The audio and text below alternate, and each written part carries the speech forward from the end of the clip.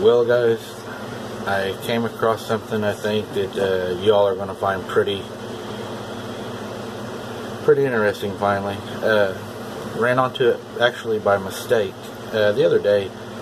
I went down, uh, didn't even have the intention of you know Bigfoot hunting or anything, and uh, took my mom and my uh, my nephew and my little boy Hunter was going to go fishing. So we ended up at the place I like to fish. It's a secluded place down on the lake. It's uh, where we had the incident with the uh, thing looking through the tree, the stick throwing, the hooping. But this was our first time back there this year, you know, to, to fish. And uh, when we got there, we noticed that the water was up. It was up higher than normal.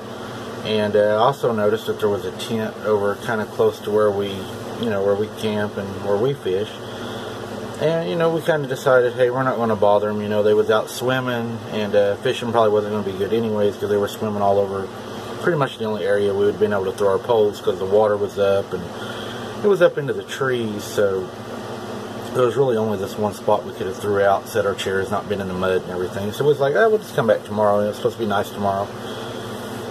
Uh, so we left, and we came back the next day as we planned. And the people were leaving.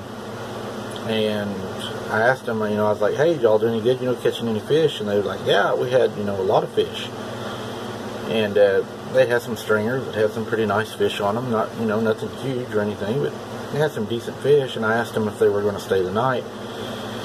And he was, no, no, you know, we're leaving. And I said, well, if y'all are going to, you know, camp or whatever, we'll go on. I didn't want to bother them. They was there first. And I kind of, you know, believe if somebody's there first, I don't go in and just try to push somebody out.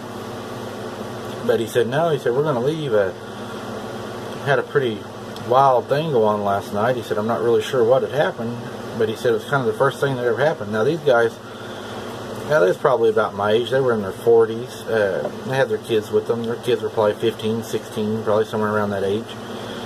And uh, they had their two wives with them, so I'm guessing two families. But anyways, he said that uh, they had got ready to go to bed it was getting late evening. The sun hadn't quite gone down. And they heard a bunch of whistling in the woods, and they thought it was some kind of bird that they'd never seen. He said, you know, he, he was an avid hunter, fisherman. They fish a lot. And he says, first time I'd ever camped this spot, but he said they heard a lot of like whistling. He said, you know, really didn't pay a lot of attention to it. The kids kept swimming until late, you know, late evening. And uh, he said, as as time went on, they started hearing some uh, breaking and tree beating and in the back of my mind I'm already thinking okay y'all's ran into kind of what I ran into down here you know he's going to have a pretty good scary story and that's going to be it. Well as he kept talking he said I, he said I, I actually got pissed off he said because I think somebody tried to run us out of here. And I said what do you mean tried to run you out of here? And he said well they started throwing stuff up hitting our uh, tent and uh, you know, kind of scared the ladies and everything. He said, we, we'll arm He said, I stepped out and, you know, was hollering, you know, get away from our tent, you know, leave us alone, we're camping, we're armed, you know, don't be stupid, just things like that. He said we would go back in and we would lay down and it would start up again. He said finally he got mad. He said about, you know, two or three in the morning, he said, I, I was fed up. The kids were scared, they went to sleep. He said you could hear it. Their trucks were parked kind of alongside the road where the floodwaters had been, so it was really muddy. He said, so I just walked out, took my gun, 30-30, that's what I seen in his truck, and he said, I shot it straight up in the air. And he said, as soon as I shot, there was a whoop. He said, I no more turn around and get back in the tent, and something slams the side of my truck. He said, I thought they shut my truck door, had been in my truck. He said, so I went run up there with my gun with his friend. And he said, when we got up there, of course, there was nobody around. He said, so we locked the doors, shut the doors, nothing was missing, went to sleep next morning, when they woke up, he walked me over to see his truck, and the side of his truck is dented in. There's a huge dent in the side of this guy's truck. And there's a huge rock laying on the ground. And I'm thinking, wow, they went from throwing sticks to throwing rocks. It kind of sounds like what happened to us the other night, you know, the other at the other place we was at, which is, oh, as a crow flies, it's probably I'm gonna guess three, four miles down maybe. But uh, anyways, I was like, wow, man, that's a lot of damage to your truck. And he said, yeah. He said, whoever it was, you know, he said they they kept throwing rocks. They weren't as big as that one, but all night long, rocks were landing all around in the water. And he said it was just, he said, you know, bunch of assholes is what he called them. But uh, he said they were snorting and growling and trying to sound like wild pigs, is what he said. And I'm thinking, nah, not pigs, man. Well, anyways, he said he'd found some footprints. So we walked over and alongside the road where they had smashed the truck, and kind of between the truck, they had their truck on the road, and then there was the muddy spot, and then there was their tent at the water's edge. In between, I would say no more than 10 foot from their tent, something had walked through there, and I took a picture of the footprints. So here are the footprints.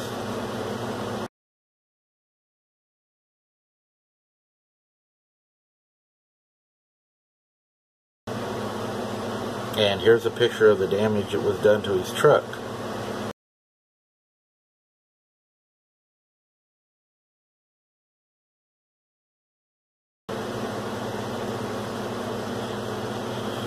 So really pretty pretty wild there and I was like, man, that is crazy. He goes, yeah, and whoever they were, they must have gotten the back of my truck and was looking for fishing poles or whatever, and they had touched my truck because they left a print on the back window.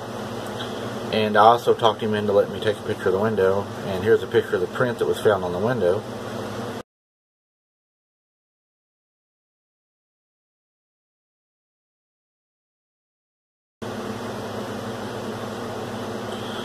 And after looking at all that, I, I knew in my mind what I thought it was, and they wanted to remain anonymous. They they was thinking if somebody was mad at them, and you know they didn't want any more trouble. But he was thinking people. I'm thinking something different. What do you guys think? I mean, you know my stories, what's happened at this same spot. I know what I think. But anyways, they left. We settled in for the evening. Started getting, you know, late evening. Our poles were out in the water.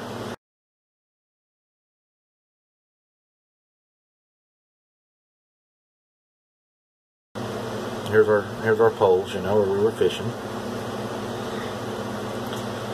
A little bit later on, I heard what sounded like a tree break behind us, so I just turned with my camera and took a picture.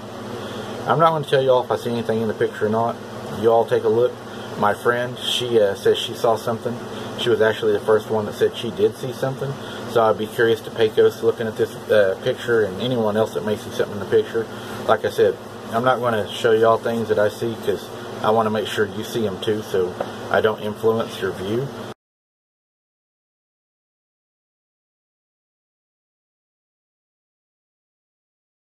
Um, the night went on. Uh, we fished into the dark with a with one lantern.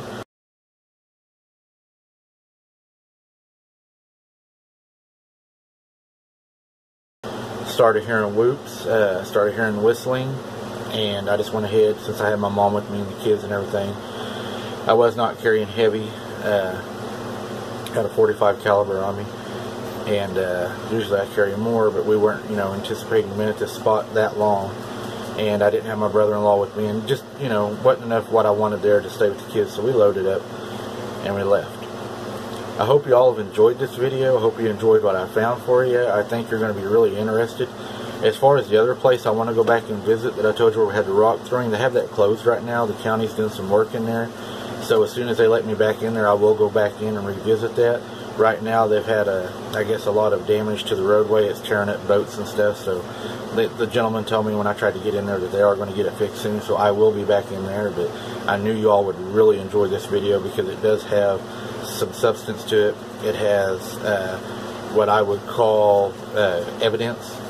So it was very interesting to me. I enjoyed it. I enjoyed what I got to see, the photos. So I hope you all enjoyed. Don't don't forget to subscribe if you're watching so you don't miss our new videos coming. There's going to be a lot more investigations going on. Don't forget to hit the bell so you get a reminder of our videos coming out.